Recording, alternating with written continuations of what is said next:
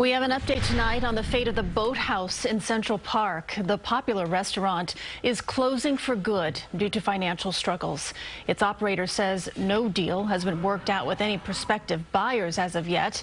The venue will remain open for scheduled events through the end of this year, and papers filed with the state's Department of Labor over the summer said the venue's more than 160 employees will be laid off.